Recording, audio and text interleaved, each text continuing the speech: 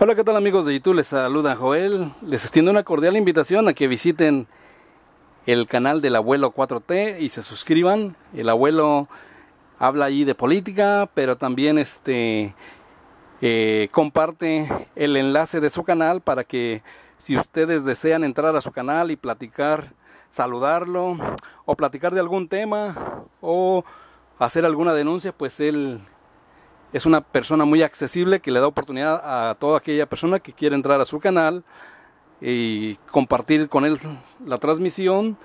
Él transmite, el abuelo 4T transmite de 7 de la tarde hora de Phoenix, Arizona, todos los días. Y también transmite en las mañanas la conferencia del presidente Andrés Manuel López Obrador. Así es de que eh, visiten el canal del abuelo 4T y suscríbanse amigos. Este y por ahí pues le dicen que eh, Joel lo recomendó. Ahí le dejan un comentario.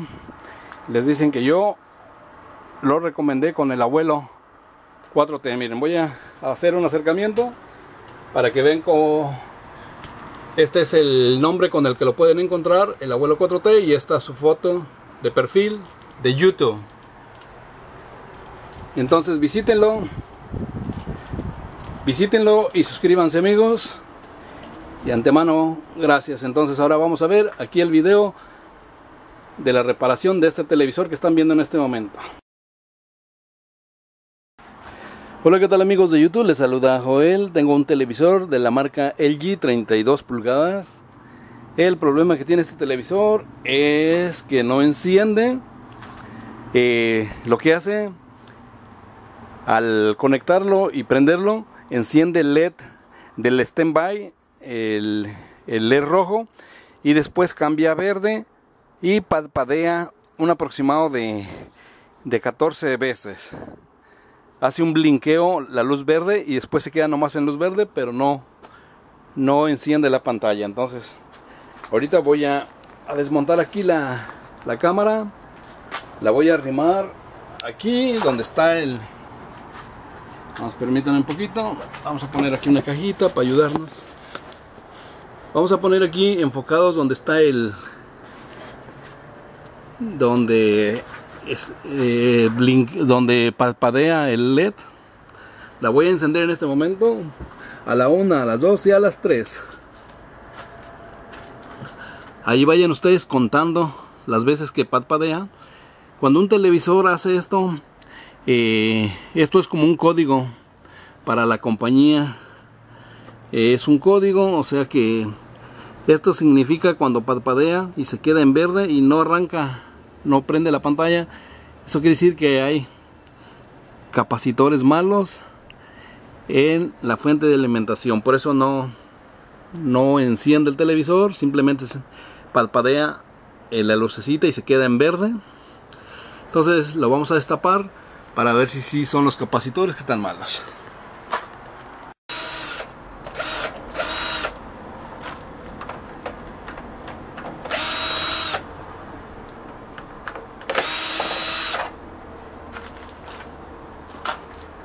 Bueno, pues ya quitamos aquí los tornillos. Vamos a destaparla.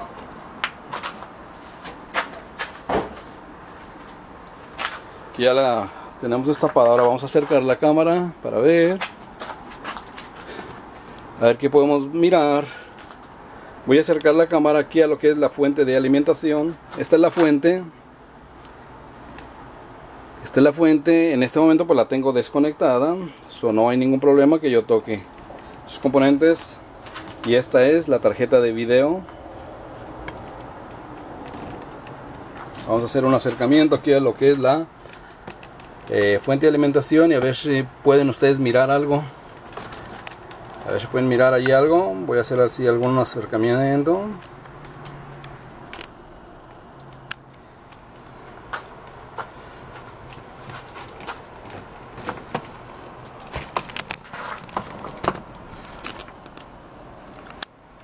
Miren yo sé que las personas que tienen experiencia y conocimiento saben al mirar ya pueden ver ahí lo que está pasando, ¿verdad? Pero para quienes no saben, no tienen experiencia, miren. Estos se llaman capacitores. Yo los conozco por capacitores, otras personas los conocen por filtros, otras personas los nombran condensadores, que bueno, yo les llamo capacitores. Estos capacitores, este, este, aquí hay dos, este, tres, este, cuatro, cinco, hay cinco capacitores que están hinchados, que están a, punto de explotar, o sea ya ya no están planos como de como están estos miren ven cómo están planitos y estos ya están a punto de reventar o ya reventados más bien ya, ya reventados. Ya tiraron el líquido que, que llevan dentro.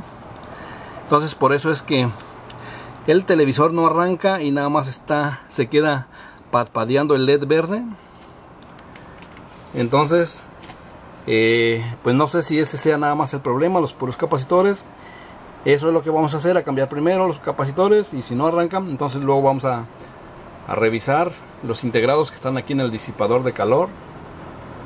Pero por lo regular casi siempre nomás son los puros capacitores, entonces eso es lo que vamos a, a cambiar amigos. Voy a desmontar la tarjeta para ver de qué valor son los ah, capacitores que están hinchados. Vamos a proceder a desconectar primero los cables. Es importante que este que marquen dónde va cada conector, porque como en este caso, miren, hay, hay tres conectores, pero uno no lleva nada. Entonces, eh, marquen para que estén seguros a la hora de conectar de regreso.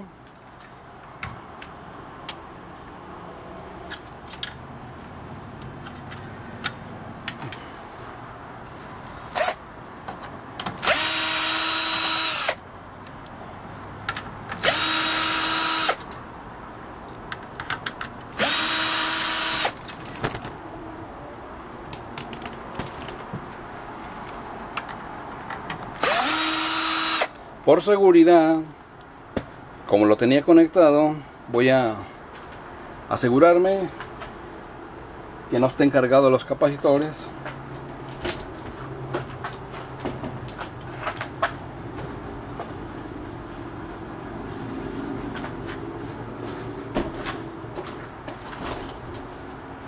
vamos a usar aquí la lámpara que por lo regular cuando no prende no, no cargan, no se cargan, pero nunca sabe uno.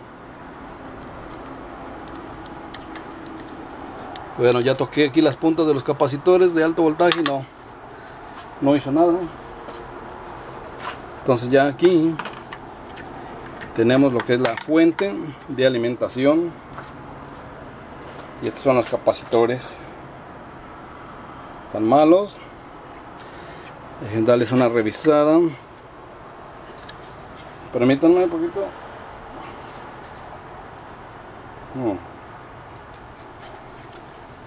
Tengo uno, este grandote es de 1500.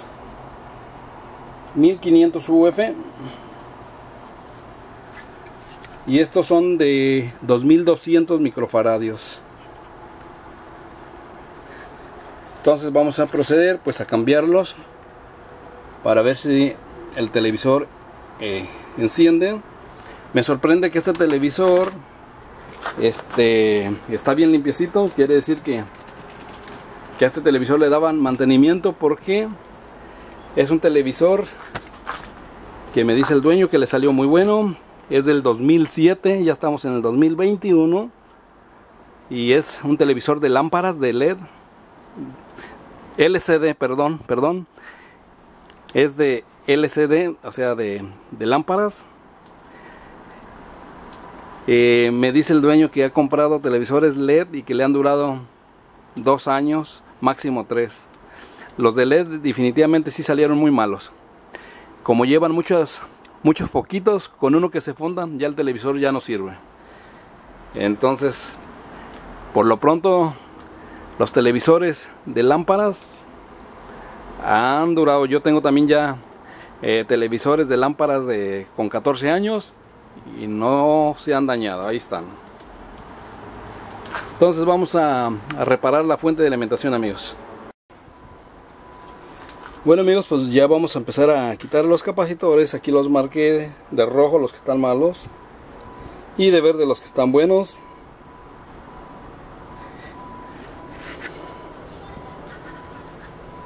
Lo que vamos a hacer aquí, damos vuelta.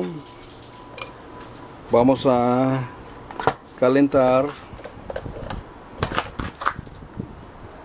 Vamos a calentar para que salgan. Le voy a aplicar un poquito de soldadura para que sea más fácil.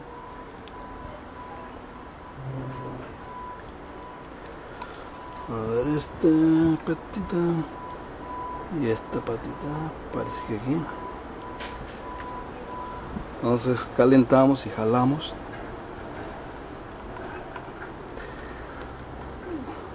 hay que calentar y jalar porque tienen las patitas dobladas ya después limpiamos los agujeritos.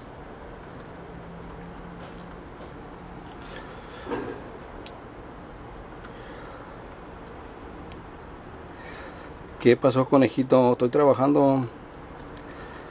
Conejito, espérate, ching, loco conejito, espérate.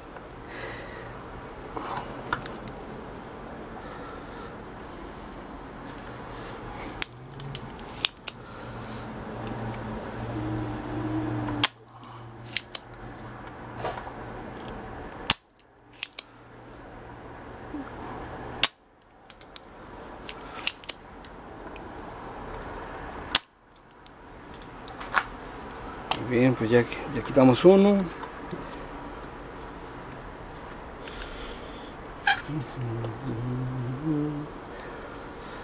Aquí, aquí, aquí hay que ponerle soldadura porque aquí esta patita no era. Estas eran acá, de este lado. Ahora vamos a quitar a quitar otro más.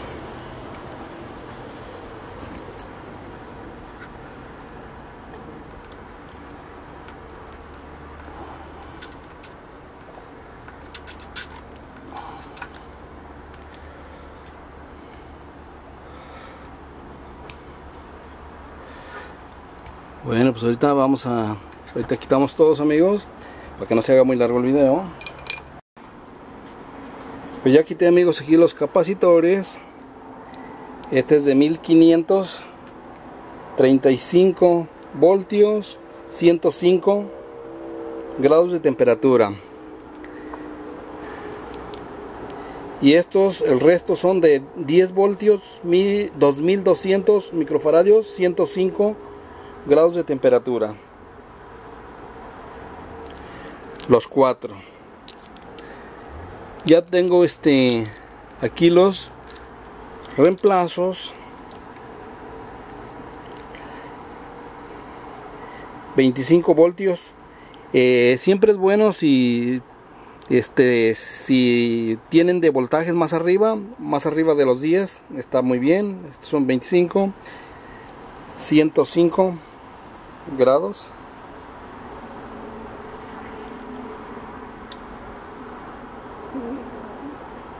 No sé si se logre ver pero creo que está borroso. 2200 este este de color verde va a reemplazar este grandote. Este es 1500 también. El tamaño no importa. 1500 microfaradios este es 16 voltios, no tengo de 35, voy a ordenar de 35, pero por lo pronto vamos a poner este.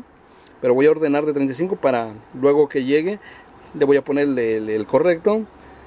Es 1500, 105 eh, grados.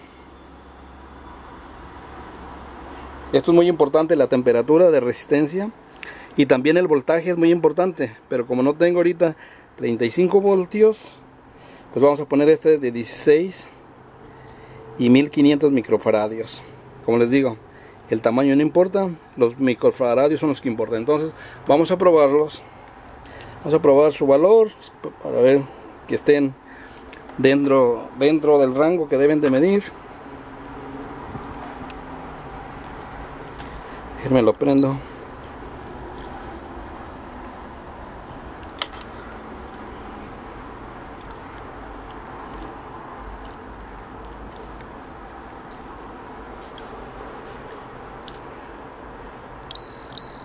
Ahí está. 1600 está dentro del rango.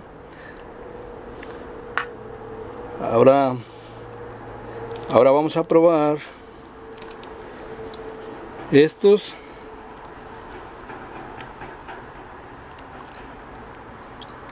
Necesito que apriete aquí bien la,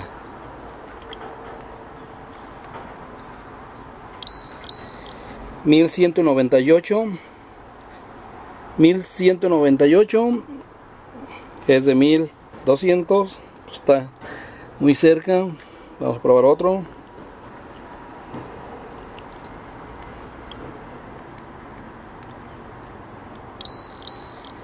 $2210 microfaradios perfecto. Busqué los mejores ya que tengo bastantes y busqué los los que están más cercas a los 2200 ahí está. Vamos a este.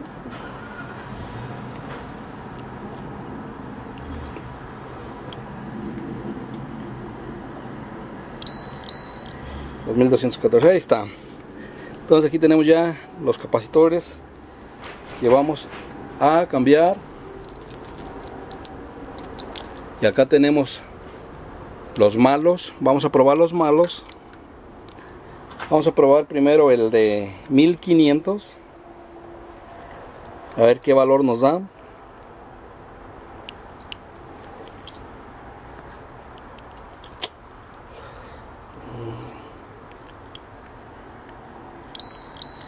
$669 super bajo.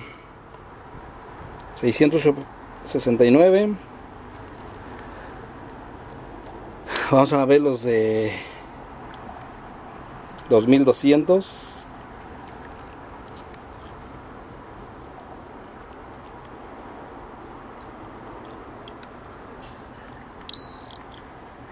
Este no da, miren. Circuito en goteo dice circuit leak. No. Es que están totalmente reventados.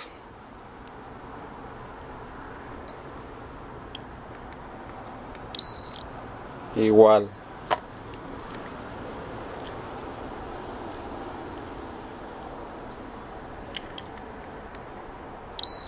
Lo mismo.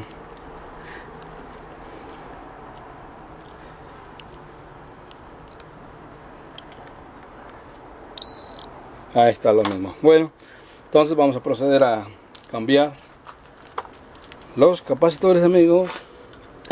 Primero vamos a poner el de 1500 que va aquí. Es muy importante la polaridad.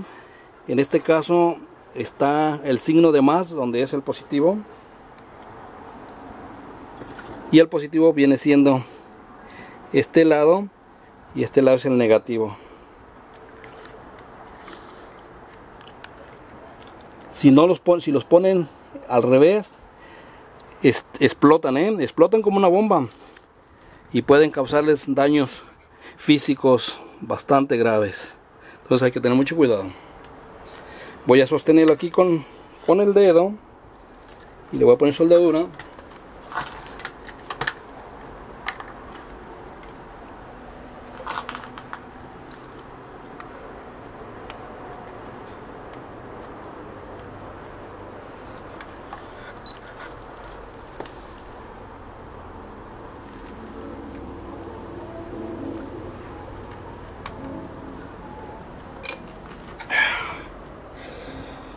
Ya lo soldamos. Este. El de 1500 microfaradios. Ya vamos a poner ahorita los de 2200 estos capacitores son reciclados pero en buen estado. Tengo nuevos. Bien. tengo también capacitores nuevos pero y toda esta bolsa son nuevos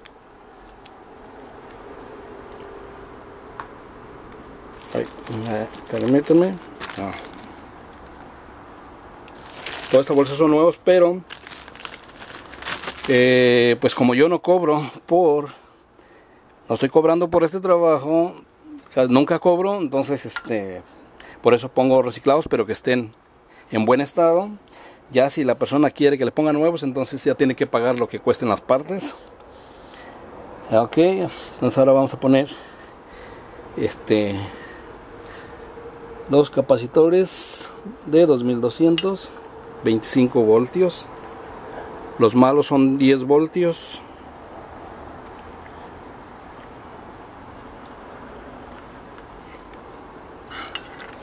Hay que estar eh, muy listo con la polaridad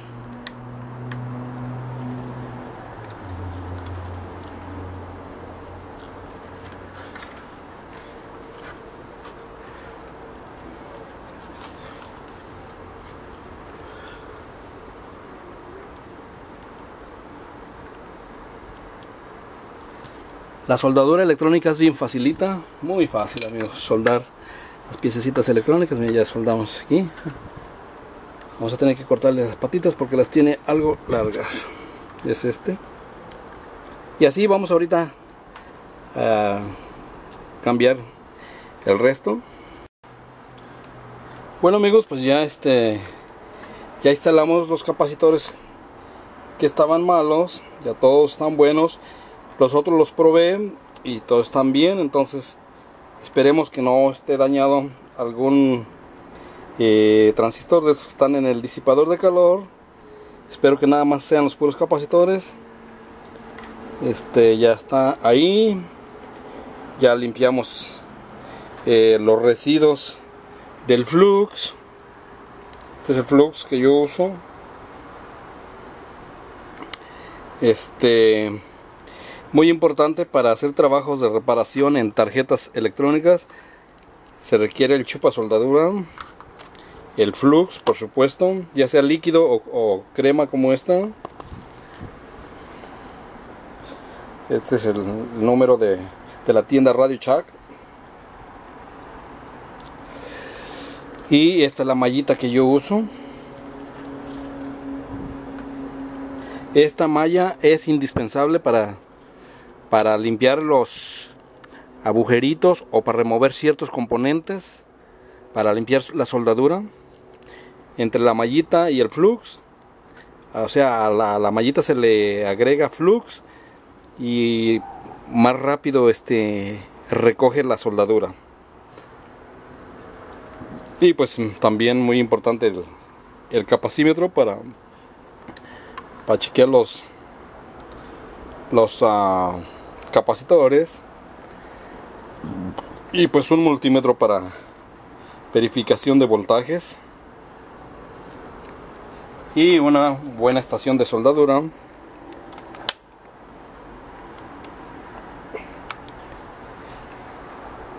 Alguien me, me, preguntaba espero que la persona que me preguntó mire este video que qué temperatura era este mi estación de soldadura. Esta es máximo 480, 480 centígrados. De 480 centígrados. Y el tipo de, también me preguntaron el tipo de, del diámetro de la soldadura que yo uso. Yo uso de, es de 0.82 milímetros.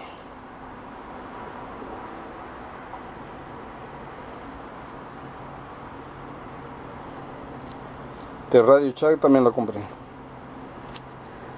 Es delgadita, a mí me gusta la delgadita. También tengo por ahí este soldadura gruesa, pero pues rinde más la que es delgadita. Bueno, entonces pues ya vamos a instalar ahorita la tarjeta, esperando que el televisor arranque.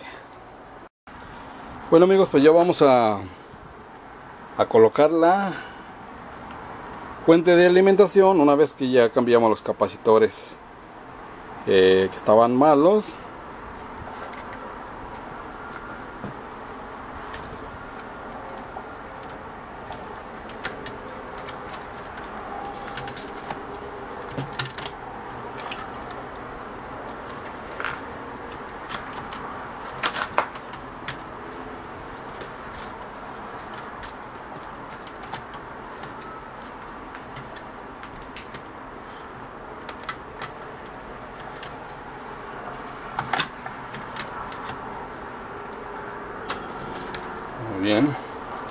estamos seguros que está bien acomodadita. Vamos a mover un poquito la cámara hacia acá.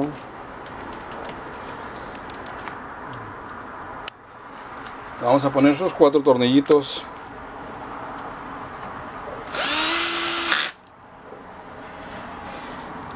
Este es una una pistola para para hacer agujeros, pero también la uso para atornillar o desatornillar. Simplemente eh, cuando voy a atornillar le bajo la velocidad para que no se barran los tornillos.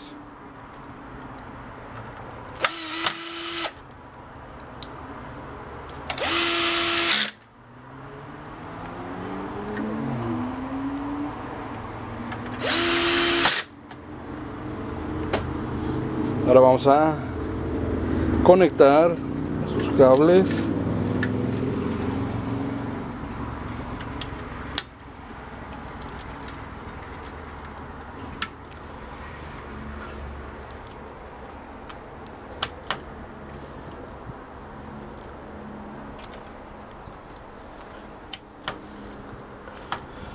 ahí ya tenemos ahora sí todo conectado.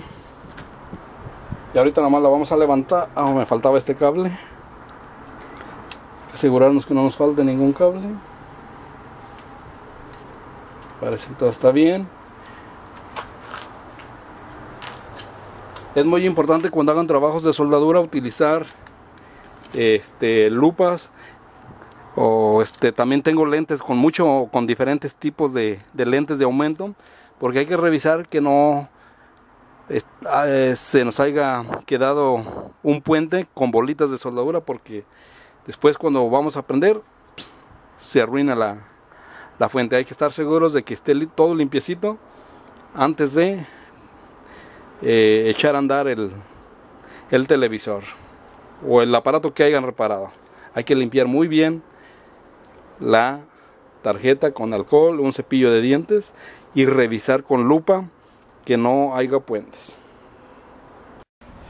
Bueno amigos, pues vamos a, a conectarla ya ahorita. Este, vamos a ponerle aquí lo que es el cordón de la corriente.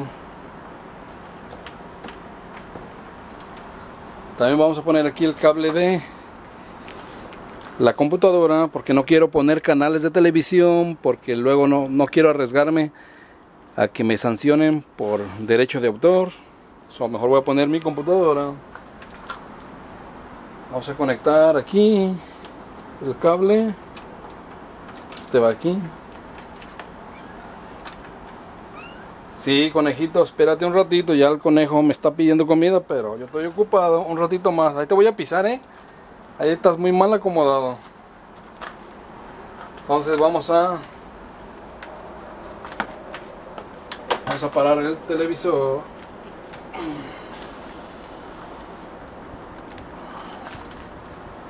A ver, a ver si se mira. Vamos a levantar aquí un poco la cámara.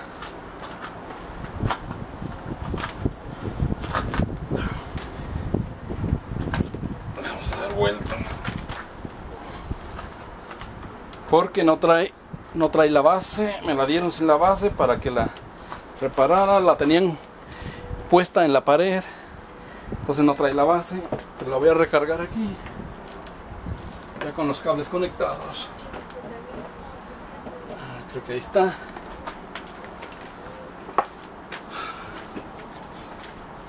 Ahora vamos a poner aquí la computadora. A ver si se mira bien. Ya creo que ahí se mira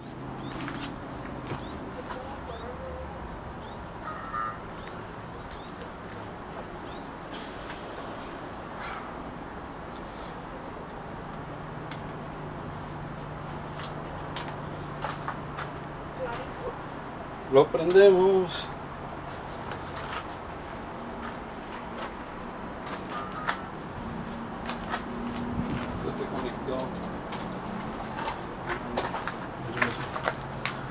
Muy bien miren ahí tenemos ya el televisor.